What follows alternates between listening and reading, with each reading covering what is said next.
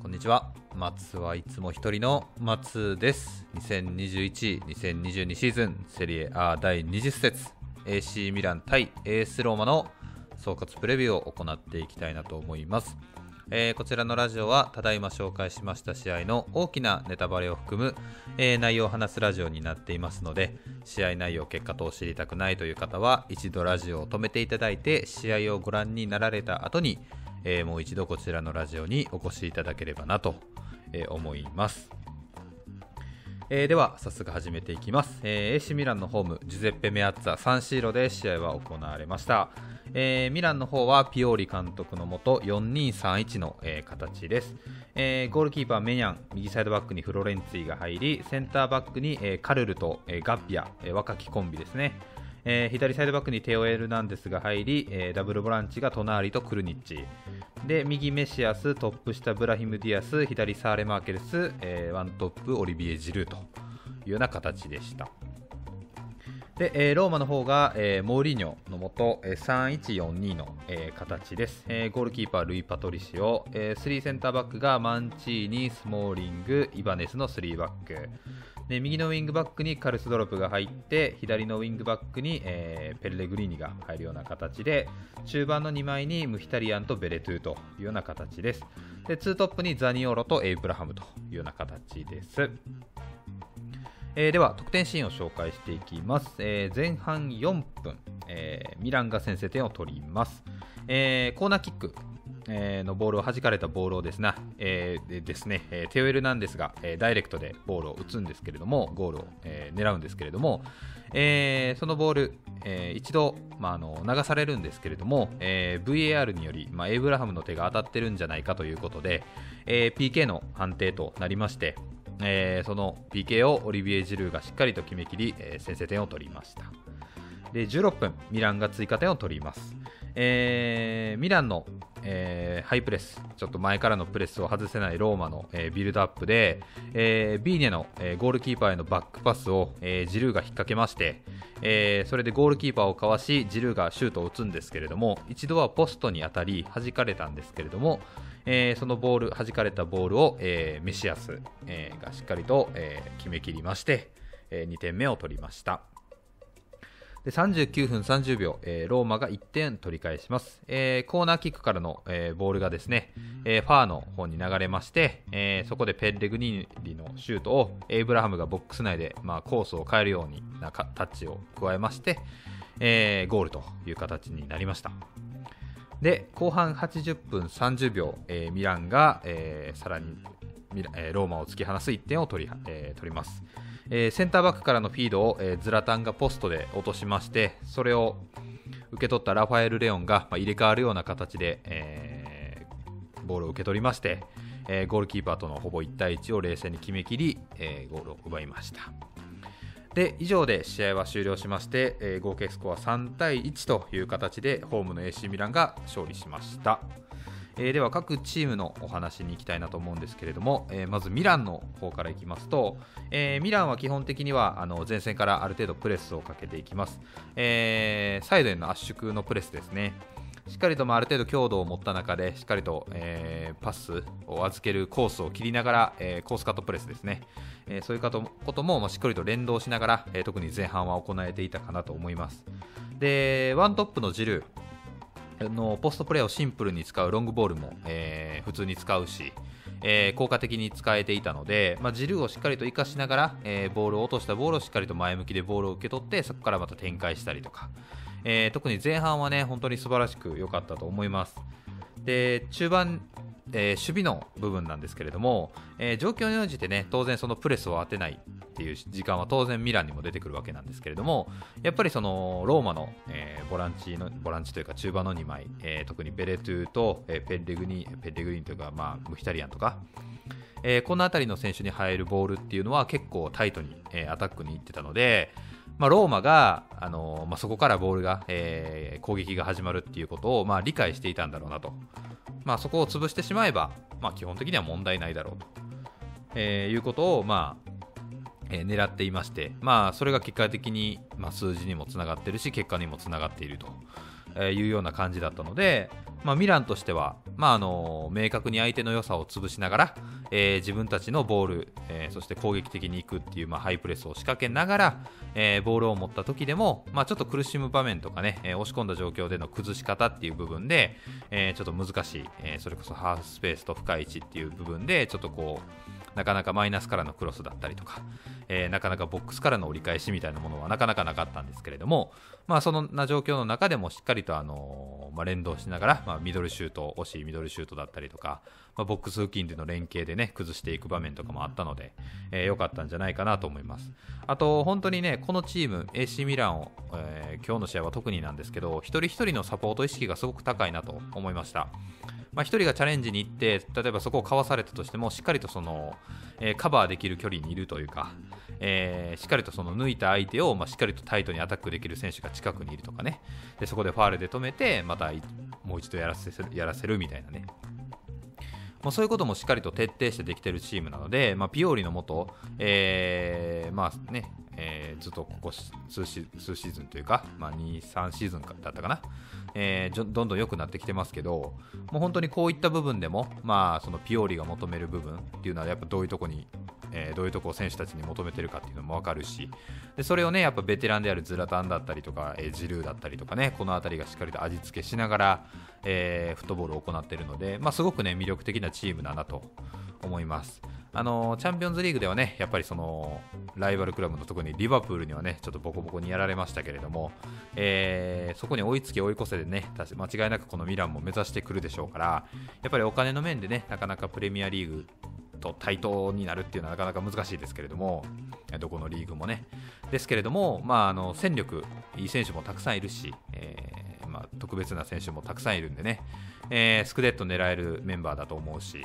えー、今現状ね、インテルが素晴らしいですけれども、えー、ミランにはぜひ頑張っていただきたいなと思いました。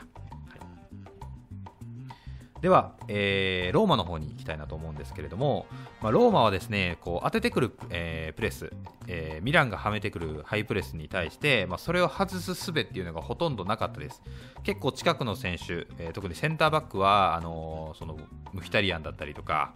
え、っとベレトゥーかへのまあパス、まあ、そこを選択することが多かったりとか、まあ、ウィングバックへのパスいわゆる、まああのー、経由する場所、えー、どこがから攻撃始まるかっていうのが、まあ、ローマとしては基本決まってるしでやっぱりねミランがこうハイプレスを仕掛けてくるってなるとその背後のスペースを、えー、使ういわゆる深さを使った攻撃1本のロングボールとか、えー、そういうこともねあんまり多用してなかったしこうはめてくるプレスに対してショートパスでつなぐんですけど、まあ、モーリーニョが作るチーム自体そういうことうまくないチームなので、えー、そういうところもしっかりとねモーリーニョがそのどういう立ち位置でじゃあここで、えー、この位置でウィングバックが持ったらじゃあセンターバックとじゃあそのボランチとじゃあ降りてくる1枚の、まあ、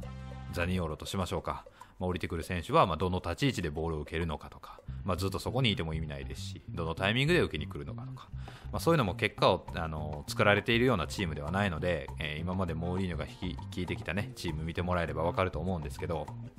結構あの攻撃に関しては個にね依存するフットボール、えー、モーリーニョするので結構攻撃、えー、特に攻撃ビルドアップに関してはほとんど、えー、効果的なものは行えていなかったと思います。まあ、後半に関してはそのミランのプレス強度が落ちたりとか、えー、スペースが空いていたことで、まあ、結構あの自由に、ね、持ち運べたりすることはできたんですけれども基本的に相手が行ってくるものに対してリアクションを行うことしか基本的にはできていないので自分たちからアクションを行うみたいなことが試合を通してあまり多くはなかったので、まあ、ローマとしてもそのなんていうかな、まあ、攻撃的には正直、まあ、監督をねモーリーニョにしてる時点で攻撃的っていうことはまずないんですけれどもあのー、まあ、なかなか追いつき追い越せと、えー、ミランから逆転を取るっていうことはなかなか見えなかったなと試合を通して見ていてもね。でやっぱりそのミランが例えばビルドアップをしてくるときも基本的には5-3-2でブロックを組んで、まあ、網を張ってそこからカウンターと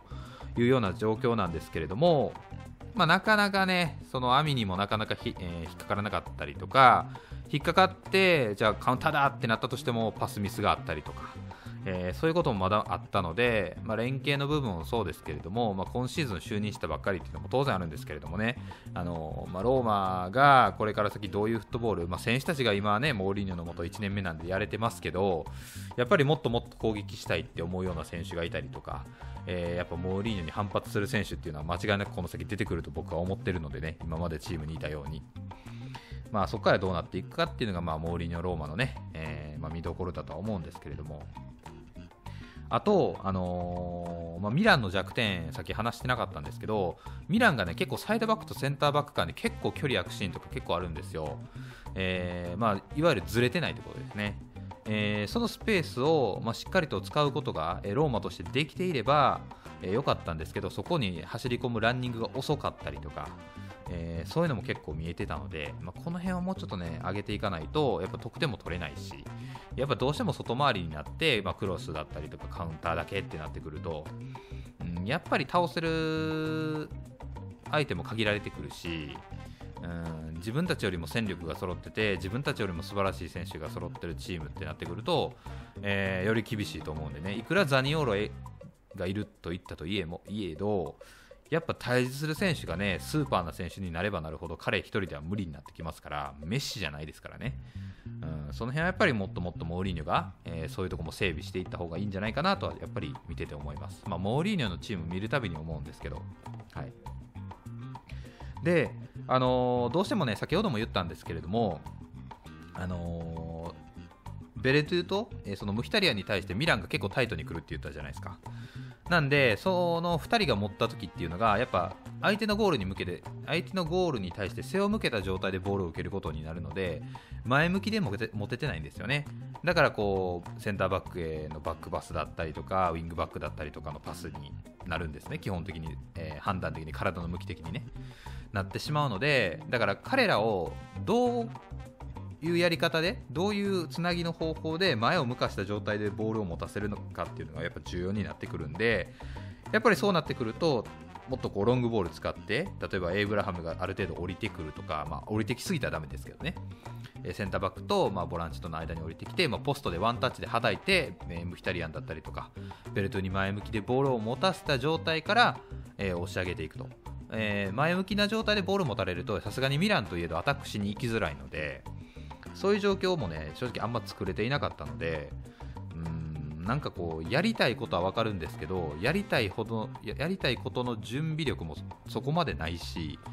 えー、ブロックは組むけどそこから先がないみたいな。うん。まあ、その辺はねもっと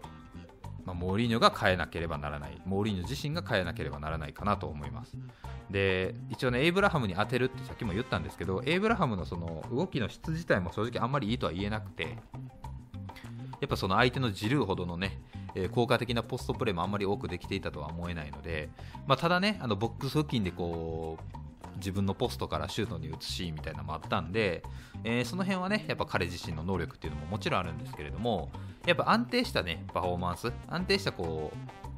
えー、チームへの貢献度っていうものをやっぱこの選手にはもっともっと求めていかなければならないので、えー、ローマとしてもやっぱりこの選手を、やっぱ今9番としてエースとして使ってるわけですからもっともっとねチームに貢献してもらわなだめだろうし、まあ、もっともっと得点も取ってもらわなければならないと、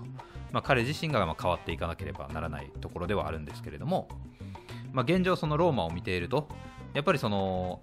相当リスクをかけてハイプレスをかけてくるわけではないのでミランも。アタランタみたいにねセンターバックも釣り出てくるみたいなもうどこまでもついてくるみたいな、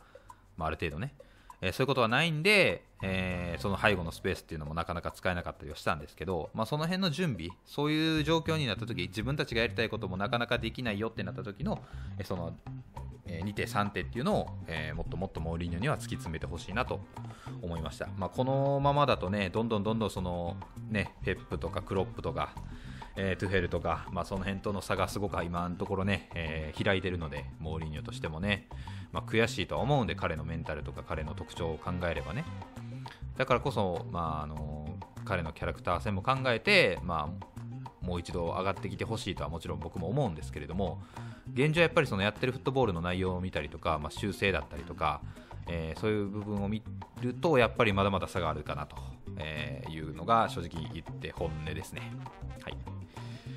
はい。ということで、えー今回のセリエ A 第20節、えー AC ミラン対ローマの総括プレビューは以上になります、えーぜひ最後にチャンネル登録とコメントよろしくお願いいたします。ご視聴ありがとうございました。